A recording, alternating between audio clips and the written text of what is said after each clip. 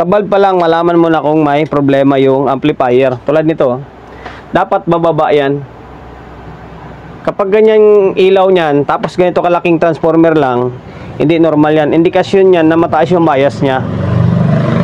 Ayan, nagnormal naman siya. Kung ito 20 ko yan, tapos i-thermos, i pa natin sa may thermal scanner, taas niyan. Obserbahan nyo, o yung 38. 42. Mapo 43 pa yan. Today's video. Bali, Trident CE7 ulit. Ayan na, mayroon siya pa ilaw-ilaw. Oh. Ano ba to? Parang reflector. Ayan, ang mayari nito ay taga si Sir na taga at Jimmy Taytay. Yun, oh, taga Taytay Rizal, Jimmy. Nilalagnat Channel 1. Okay? May trangkaso. Lalagnat yung Channel 1. Ayan, kaya ito binuksan ko na para mabilis na yung video natin kasi paulit-ulit na lang yung video natin. Uh, naumay na yung iba. Malawag na to ah. Kaya tinanggal ko na yung takip. And then may pizza oh. 10, 20, 23. Ibig sabihin, repair na rin ito. May history na ng repair ito pag ganito. Kasi may petsa na oh. Oh, di lang ako sure. Okay? Ayan. Trident na CE7 ulit. Again and again. Ang issue nito, kaya nga dinala sa atin, yun nga kanina nakalista doon, nilalagnat or mainit ang isang channel. Itong channel na to. Channel 1. Okay? Bali, ito yung mission natin for today's video. Pero bago natin ito simulan, eh, shoutout muna natin si Bossing. Shoutout, shoutout, and then maraming maraming salamat sir sa pagkakatiwala mo na ang unit mo rito sa akin. Sir Jimmy ng Taytay Rizal. Ayan, naka-plug in na yan doon sa bulb. Sa bulb pa lang, malaman mo na kung may problema yung amplifier. Tulad nito, dapat bababa yan. Kapag ganyan ilaw niyan, tapos ganito kalaking transformer lang, hindi normal yan. Indikasyon yan na mataas yung bias niya. Ayan, nagnormal naman siya. Kung ito 20 ko yan, tapos i-thermos, i pa natin sa may thermal scanner, taas niyan. Sige nga, pakita ko sa inyo. Lang ah. O, ito 20 natin ah. Tapos, handa ko yung thermal scanner natin. Mabilisan lang kasi baka mamaya matuluyan yung unit. O yan, naka 20 na yun dun ah. Obserbahan nyo. O yung 38. 42. Mapo 43 pa yan. Hindi pwede. Mm, yan, ito yung channel. Oh, ito good dito, 36.4 dito. Yan, hindi may nag-comment na lobat lang daw yung battery ng kuan battery ng thermal scanner natin. Hindi ah. sadyang mainit, may, sadyang mainit lang talaga. Oh, init oh. Okay, ayan. Ah, kabisadong kabisado na ng mga manonood natin tong mga ginagawa natin eh. Ayan, i-fix bias natin ito. I-fix bias natin. Tapos, gawin yung dapat gawin pa na iba. Tulad niya, yung mga control kung may problema sa audio, eh, package na natin yan. Okay, so ngayon, bakasin ko na itong ito muna, tika lang, ito muna. Hmm, yan, tanggal na yung channel 1, balik natin to sa may bulb. Tapos magsukat tayo. Ayan, sukatan natin itong channel 2 kung ano yung bias dito. Dito ah, tama lang dito sa 0.3 lang magpo 0.3 Okay, ganyan yung papalabas natin na bias niya. So ngayon, baklasin ko lang baklasin ko lang muna itong channel 1 and then i-fix natin. Binaklas and then pinalitan ko na. Binaklas ko na yung board tapos tinanggal ko yung trimmer tapos pinix ko na. Para hindi na umaba yung video natin, 2.7. Ayan, rektahan na lang tayo. 2.7. Ayan, 2.7 sa pool yan. Yung 2.7 sa pool yan, magpo 0.3 yung uh, bias niyan. Okay, mamaya na lang natin linisan to. And then dagdag ko pala, dagan pala ni bossing ito. Yung output niya ay dagdag dagdagan daw yung blanco, kompletuhin. Okay? Your wish is my command, sir. Dagdagan natin. okay, tingnan niyo, pansinin niyo.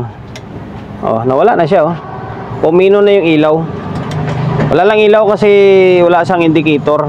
Tinanggal ko. Yung nakakabit na lang yung supply dito. Okay? Okay, magsukat tayo. Pakita ko sa inyo na sa pool sa 2.7 2.7 yung trim, ah, fix. Dito. Ayan ah. Tingnan nyo. Tapos dito. Siyempre baliktad. Oh dito ayan nasa point 3 mo tumaas oh tumaas ah mataas to ah wala nga ah. medyo mataas medyo mataas Pero hindi butas. Kalakan na siguro. Puro wala na Cornelio. babaan natin ng konti hindi pala pwede mga nasa 2.5 lang bira oh kala ko sa pool sa 2.7 babaan natin konti. Tak natin ng mga 2.5 2.4 lang.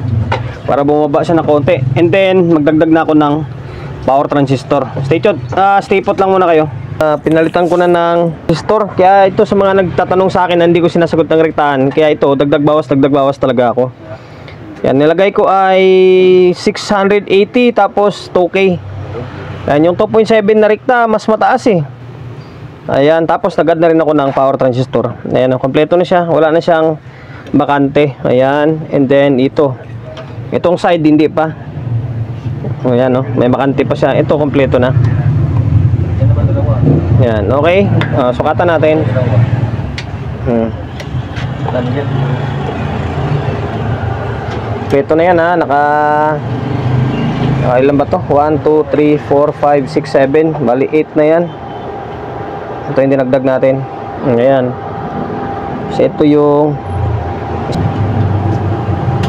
Oh, ayan, pares lang Okay, 26 2680 na yung labas niya Pag ito 0.7 mo, aangat siya eh Tataas siya ng konti dito Halos magpo 0.4 na ngayon, okay na ito. Babalik natin ito dito sa may casing.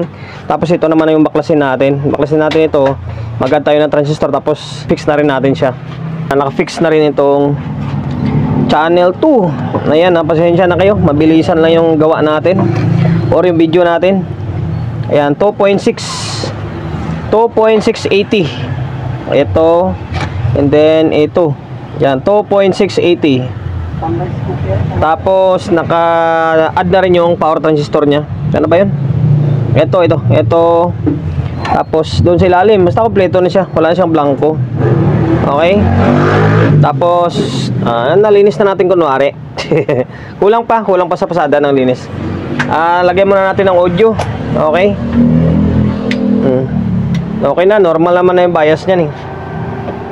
Kaya inuulit ko ha, sa mga nagtatanong, wala talagang sakto diyan kasi pa, kahit nga ako eh, nagdadagdag bawas, nagdagdag bawas ako tuwing ah, kuwan ko eh, tuwing ano ba tawag yan, tuwing video ko. Kasi hindi pares parehas kasi merong mga value na kunting ga, ka, kunting iba lang ng value, iba na rin yung galaw ng yes. Ayan, speaker nakakabit, usual na ginagamit natin. Doon. Tapos ito, cellphone yung audio source natin. Yan, no? Tapos, wala na. Hindi na init yan. Oh, ito 20 na nga natin para... Oh, yeah.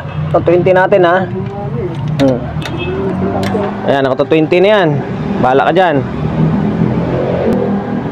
Ayan, naka 20. Naka-active na siya. Kung may problema pa ito, split seconds lang. Sobrang init na nito. Ngayon, wala na yan, no? Diba? Oh, 36 na lang, oh. 36.6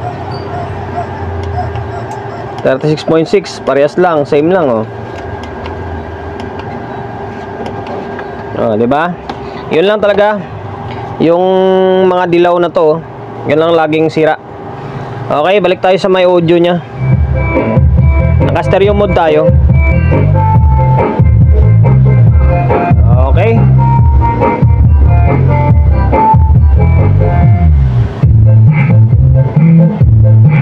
Oh, ayan na.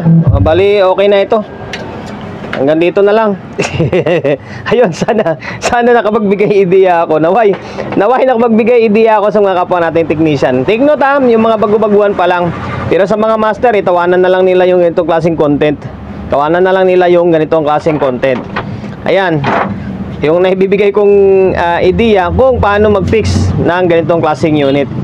Kaya pwede kasi, marami kasing way. Pwede kayo maglagay ng 2.7 kung gusto nyo medyo mas mataas pa. Pwede kayo maglagay ng 2.5 kung gusto niyo mas mababa pa. Nasa sa inyo yan kung paano niyo siya, kung anong gusto niyo yung bias na ipapalabas. Ayun, sir from Taytay Rizal. Ano ba pangalan kanina? Nakalimutan ko na. Sir Jimmy pala. Yun, Sir Jimmy ng Taytay Rizal. Bali, ox na yung Trident na CA7 mo. Bali, back to normal na ito. Naka-fix bias na. And then, nag-add na ako ng power transistor. Maraming maraming salamat ha sa pagkakatiwala mo ng unit mo rito sa akin. Yan, promotion. Bago tayo magtapos, siyempre, shop natin. Always on the go na. 24-7. Sa mga gustong magpapa-repair along sa Uyo, Quezon City, number 61, Don Julio, Gregorio Street, sa Uyo Road, sa Uyo, Quezon City.